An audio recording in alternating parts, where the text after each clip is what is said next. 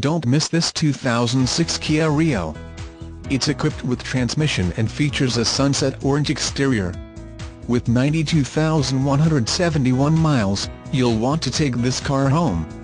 Make a great choice today. Contact us and see this car firsthand.